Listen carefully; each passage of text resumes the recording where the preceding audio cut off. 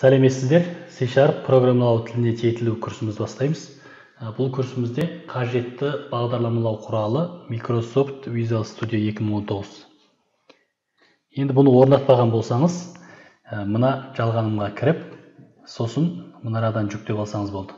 Енді бұнда біріншісі ә, ақысыз нұсқасы. Осыны жүктеп орнатқаннан кейін email арқылы тіркеліп кірсеңіз ешқандай шектемесіз пайдалана аласыз ал тіркеліп кірмесеңіз бір айдан кейін ә, тіркеліп кіруге тура келеді. Я болмаса ә, ақылы нұсқаларын сатып алуыңыз қажет.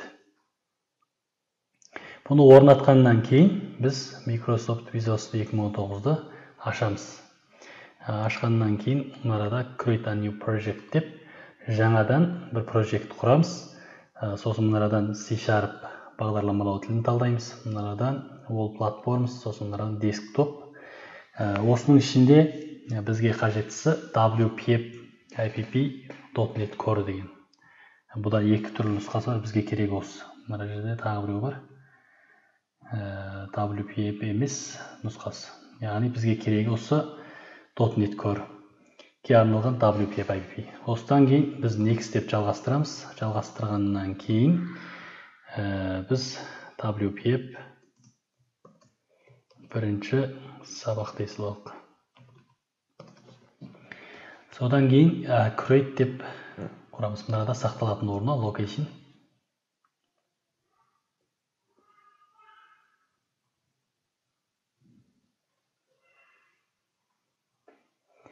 ә, мінекей бізге құрылып болды.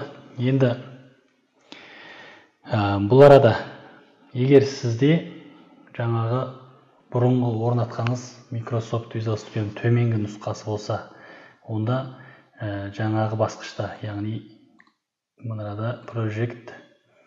Мына басқышта сізге мынау шықпауы мүмкін wpf шықпауы мүмкін. Бұл ә, үштен бастап net core үштен бастап үштен бастап шыққан сондықтан сіздікі ең жаңа нұсқасы болу керек. Енді егер ең жаңа нұсқасы болмаса онда қалай істейсіз дегенде Microsoft Visual Studio'ны ашып соның ішінде мына help дегеннің ішінде check for update дегенді басып жаңаласаңыз болғаны мынаны басып жаңалаңыз. Қазір мендегі ең жаңа нұсқасы дейді. Он алтыда бес. Сосын егер сіздікі бұдан төмен болса онда сөзсіз жаңалап алып барыңыз. Ал енді және де шықпаса онда сіз win кнопкасына s кнопкасын қосып басып сосын control панель дегенді іздеп соны ашыңыз. Ашқаннан кейін мынарадан ә, категория деген талдасаңыз осы секілді болып ашылады. Соның ішінде uninstall program деген басамыз. Осының ішіне Microsoft Visual Studio 2019 табып тауып міне. Сосын ә, тінтөрдің оң жағын басып change дегенді басамыз. Басқаннан кейін бізге мынау ашылады. Windows visual studio installer деген ашылады.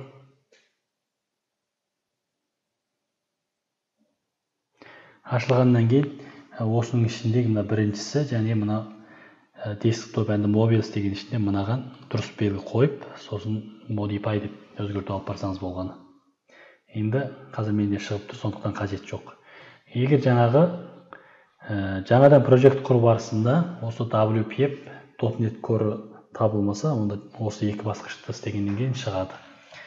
Енді бізде мына жақта бұрынғымен ұқсас ә, .NET Core-ның CS прожекті одан кейін мына жерде ә, XAML деген файл одан кейін мыналар екен бұның ішінде қазір бізге қажетті ештеме жоқ.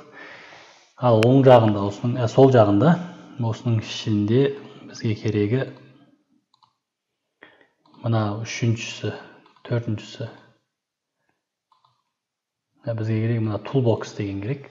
Осының ішінде ә, көптеген ә, контролстар бар. Яғни бізге қажетті мысалы баттын осыған бір баттын сүйреп әкелсек бұл батырма өстіп сүйреп әкеле салуға болады. Осылай. Енді мынаны біз жүргізіп көрейік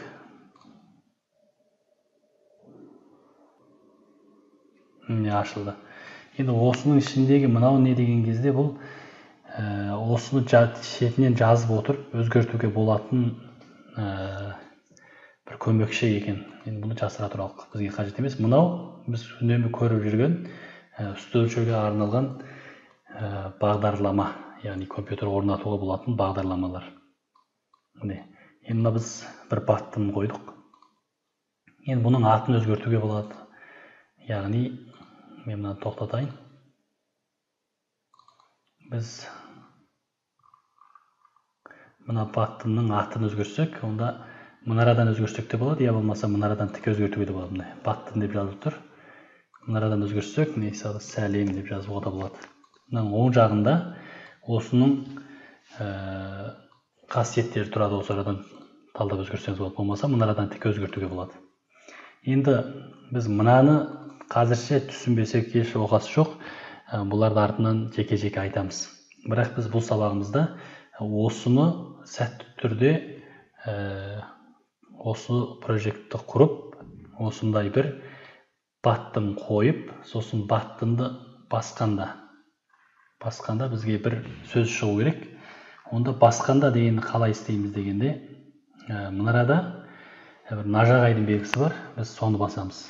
Осыны басқаннан кейін мына клик деген. Клик деген ол бір ивент яғни оқиға. Осы басылғанда қайсы функцияны атқарады яғни қайсы әдісті атқарады. Онда біз жазалық.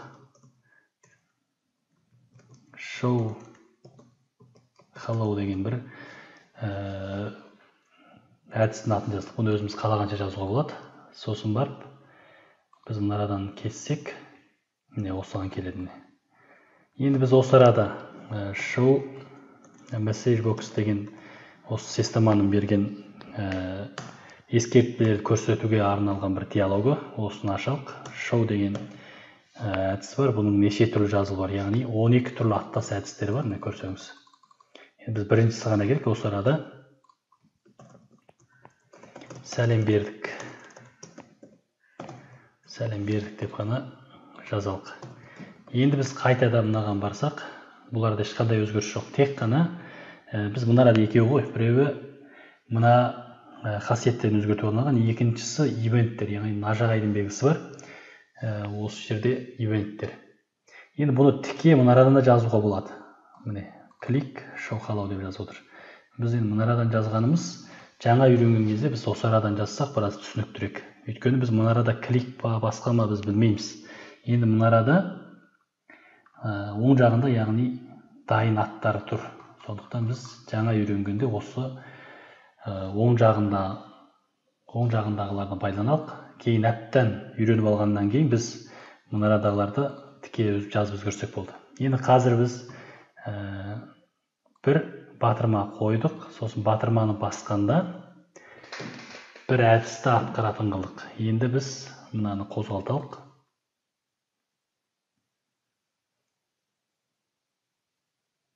Сосын ашылғаннан кейін ә, біз мына сәлем дегенді бассақ міне жаңағы жазған сәлем бердік деген ескертпе шықты. Яғни бассақ осы ескертпе шығады. Енді ә, қалған мынадағы тулбокстар бізге қажетті мысалы сурет көрсету үшін мына имидж дегенді істетеміз.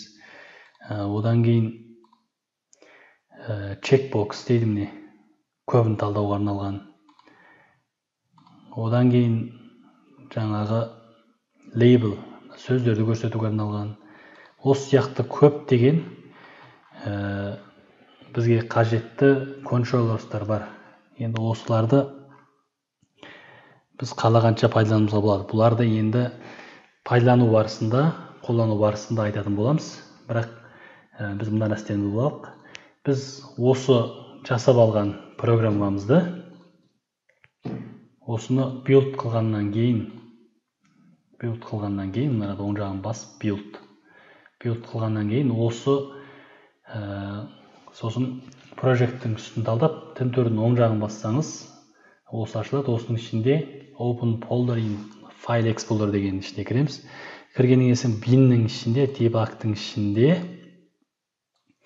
ә, осы ең соңғы бізге шығарған ә, программалар осының ішінде міне wpf бірінші сабақ exe деген осыны бассаңыз да ашылады міне бұл ең соңғы бізге шыққан нәтижесі енді бұны бұрында айтқанбыз ең артында дебаг болса дебаг мынадан релиз болса релиз релиз нұсқасы релиз деген ә, дебага информациясы жоқ нұсқасы бұны да билд қылалық қылғаннан кейін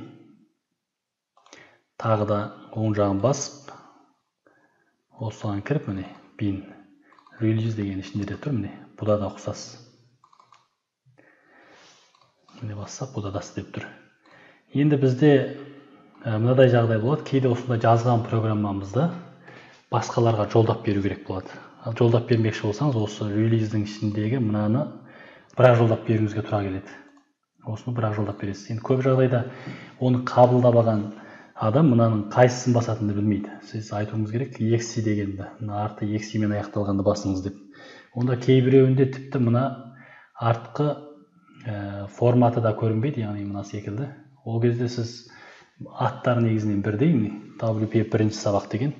Осы кезде тағы да айтып түсіндіре алмай қиналасыз содан сақтану үшін мен бір әдіс айтайын. Ә, осындай жазылып болған яғни мынаның бір жазылып болған сіздің бір бағдарламаңыз дейік осыны бір досыңызға я болмаса тапсырма орындап маған жолдап бермекші болсаңыз онда осының үстін талдап паблиш деген басып паблиш деген басқаннан кейін осы арадан қайда паблиш болады сол орын талдауымыз керек. Сосын барып ә, тидеск тидің ішінде мен қазір өзім дидескаға бардым осының ішінде make a new folder ә, курс publish деп жазып қояйын. Осының ішінде мен жариялаймын. Яғни publish деген жариялау. Біз ә, осы фолдерді талдадық. Яғни құжат яғни файл қалтасын талдадық. Талдағаннан кейін біз ә, осыдан кейін барып create a profile. Енді барып мынаны жариялауымыз керек. Бірақ ә, бұл кезде жариялайтын болсақ біз көрейік. Міне паблиш болды. Енді барып біз жаңағы өзіміздің ә, локал диск яғни т система табағына барайық. Міне курс паблиш дейді. Осының ішіне қарасақ және де ұқсас жаңағылардың барлығы бар болып тұр. Бұл енді әлі де біз осыны жолдап беру арқылы ғана аша аламыз яғни мынау қазір ашылады. Енді біз мынаны өшіріп тасталық бәрін жолдап беруге тура келеді енді барып мына жерде edit деген бар. Жаңағы паблишның ішінде edit деген бар. Осының ішінде ә, біз мына астындағы файл publish options дейді осыны ашуымыз керек. Бұны ашса қазір ештеме жоқ. Онда мынарадан ә, self контейн деген талдаймыз. Талдағаннан кейін бұл қайсы қайсы ә, CPU жүйесіне арналған? Онда біз мынарадан талдасақ болады міне. Windows X86 яғни ә, 32 орындыға арналған 64 орындыға арналған. Яғни менікі қазір 64 орынды 64 деп талдаймын одан кейін бар мынаны талдаймыз. Одан кейін мына single file деген яғни бір файлға айналдырып бер деген талдаймыз. Одан save енді барып publish деп көрейік. Мінекей ә, сәтті болды. Енді бұған біршама ұзақ уақыт кетеді. Өйткені бұл арада біз барлығын бір ә, файлдың ішіне қосып жібер дедік. Біз жаңағы .net әмді курс паблиш деген ішінде қарасаңыз екі файл ғана болды мынаның ғой бар жоғының қажеті жоқ бұны өшіріп тастасаңыз болады. Енді осыны тіке ә, досыңызға ә, тапсырма орындағанда тіке маған жолдап берсеңіз менде дұрыс ашыла береді. Енді бұл біршама үлкен болады. Қарасаңыз 88 ә, MB яғни ә, біршама үлкен деген сөз. Енді бұны қалай кішірейтеміз? Қалай компьютерға орнатуға болатын бағдарлама жасаймыз? Олар ә, осы күрсіннің соңына қарай болады. Бірақ тапсырма орындағанда тіке маған осындай ә, бір файлға айналдырып жолдап берсеңіз болды. Міне жаңа дұрыс істеп тұр. Енді сосын егер ә, қарсы жақтың компьютері 32 орынды болса онда мынадан edit деп талдап сосын мына жерден win x86 деген талдап ә, фаблиш қылсаңыз болды.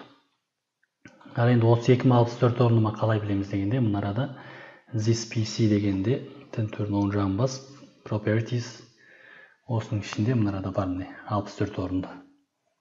Енді әдетте 32 орынды 64 орынды да ашыла береді көп жағдайда. Бірақ 64 орынды 32 орынды да ашылмайды. Сондықтан ә, көп көп бағдарламаларда осы екеуін бөлек бөлек түсіруге болады. Енді біз қазіргі шығарғанымыз осы 64 орынды. Енді бұл сабақтағы тапсырма ә, осы мен айтылған басқыш бойынша ә, мен жазған секілді бір